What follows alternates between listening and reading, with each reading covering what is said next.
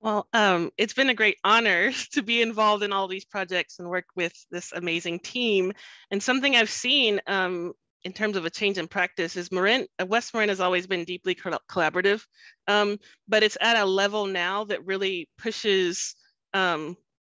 pushes things forward in a way that I've you know never experienced before um, in Marin and also you know nationally um, where things are things happen much quicker. And i think that's because of the role of funding. You know like maria said sarah hobson being at the table at the kindergarten action team table meant that she was deeply involved in understanding the what the preschool directors were articulating um, which i think enabled her to move quickly um, and to be find the support that was needed um, you know, also the community leaders. Um, I want to bring us back to where we started, um, which was talking about, you know, the integral role of the family advocates. And Christina, I know whenever I need an answer to a question about what families need, I can call Christina, Daphne, Balandra, and we're going to hear as if we're talking to the families, and they'll also make sure the families are there